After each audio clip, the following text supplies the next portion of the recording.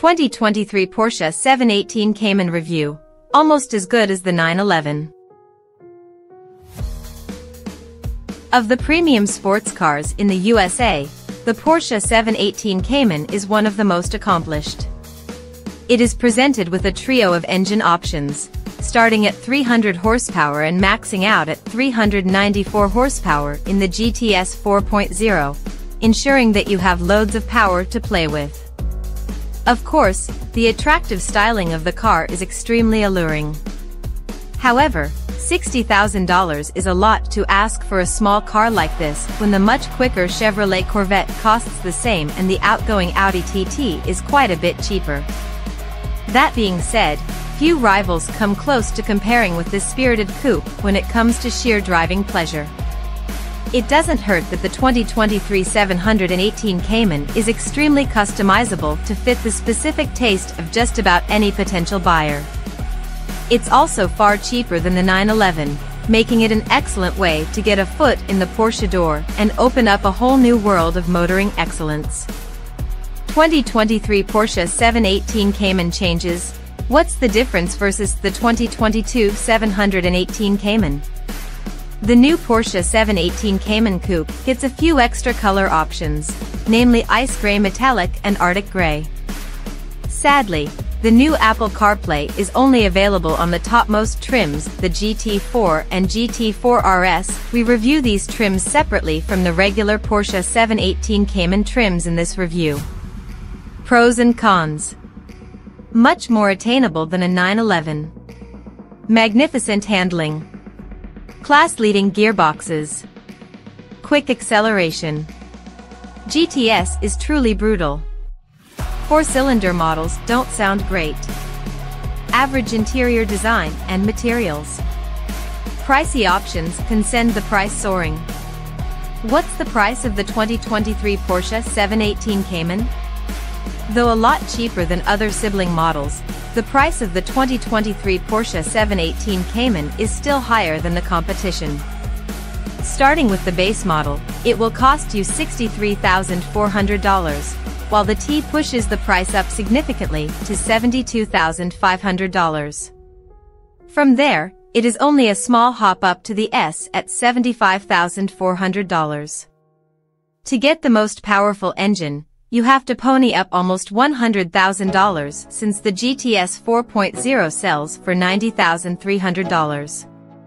These prices for the new Porsche 718 Cayman are MSRP and do not include tax, registration, or the expensive $1,650 destination charge. 2023 Porsche 718 Cayman handling and driving impressions. Though it may not be the most luxurious or powerful sports car at this price, the 718 Cayman is a perfectly balanced mid-engine sportster, and you'll be hard-pressed to find anyone willing to say a bad word about how this car handles. It is quick and agile, with one of the most finely tuned electric steering systems in the world extreme precision with just the right amount of feedback to ensure an engaging driving experience. The Audi TT and BMW Z4 can't compare on this front. What's more, this focus on fun doesn't come at the expense of comfort, though the suspension can be a little stiff at times. The damping makes up for this and absorbs most bumps without fuss. Of course, all of this is enhanced in the GTS 4.0 model which adds its superior engine outputs to the mix of the finely tuned suspension and incredible chassis, resulting in something many have called driving perfection. Verdict, is the 2023 Porsche 718 Cayman a good car? Despite a lack of any changes or improvements in refinement, the 2023 Porsche Cayman remains one of the best driver's cars in the world. This alone makes it worth the high price of purchase, though there is more value to be found here. It won't be in the trunk though, since it is laughably small. Luckily, there is a frunk that supplements this for an acceptable total. The interior is otherwise spacious for the two passengers that can fit.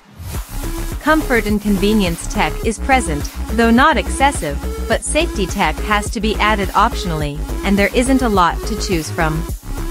You do need to pay a lot to get your hands on the sublime naturally aspirated engine found in the GTS 4.0, but there aren't many mills like this left in the market, and few come with such an incredible car attached. However, you could get a V8-powered Chevy Corvette for less, so there is that to consider. It's still cheaper than a 911, and the Porsche badge holds a lot more sway than just about anything you could find locally. What 2023 Porsche 718 Cayman model should I buy? Though the whole range is impressive, we can easily understand why everyone wants the GTS 4.0. It is the only model equipped with the incredible naturally aspirated six-cylinder engine, and it takes the Cayman to new heights when compared to the base or even the S or T trims. That being said, it is absurdly expensive. Even the base model has a potent 300 horsepower on tap, though, and it still handles incredibly well. And, when you're only paying around $60,000, you should have some pocket change left over to throw on some upgrades like leather upholstery or the premium package. Trims and specs. The Porsche 718 Cayman is offered in four different trims, Base, T, S, and GTS 4.0. As the hardtop sibling of the Porsche Boxster, it retains the same ingredients that make every Porsche a joy to drive. There are powerful engines, a sublime chassis, and a driver-focused cockpit that puts everything within easy reach. A pair of turbocharged four-cylinder engines produce either 300 or 350 horsepower, while the GTS 4.0 cranks up the heat with its 394 horsepower naturally aspirated flat 6. All versions come with a 6-speed manual gearbox and an optional 7-speed dual-clutch transmission. The Cayman T and GTS 4.0 standard specifications include the Sport Chrono package and a lowered PASM sport suspension. Other specs on the Porsche 718 Cayman include front-slash-rear parking sensors, a 7-inch infotainment touchscreen, an 8-speaker sound system, dual-zone automatic climate control, and heated seats. Not much changes as you move up the trim levels, but Porsche's vast options list can add tens of thousands to the base price, while also making the Cayman considerably more luxurious.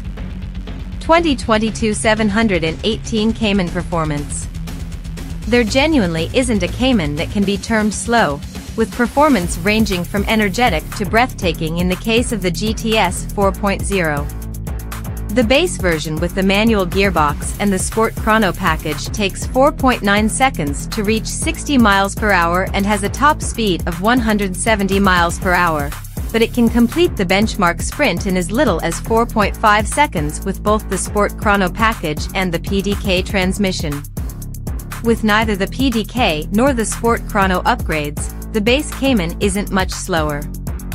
With another 50 horsepower, the Cayman S can go from 0 to 60 in as little as 4 seconds with the PDK box and the Sport Chrono package. The range-topping GTS 4.0 is the powerhouse in the lineup, serving up 394 horsepower and 309 lb-ft of torque from its naturally aspirated 4.0-liter six-cylinder engine, enough for a top speed of 182 miles per hour. However, with the 6-speed manual, it's slower to 60 than the PDK-equipped Cayman S, reaching that mark in 4.3 seconds. Tick the box for the PDK gearbox on the GTS and it not only gets an increase in torque to 317 lb-ft, but it becomes the quickest Cayman of them all, disregarding the GT4 which we review separately, dispatching the benchmark sprint in just 3.8 seconds. If it's straight-line performance you're after, the Audi TT RS is even quicker to 60 miles per hour, thanks in part to its Quattro all-wheel drive system. All Caymans direct their power to the rear axle.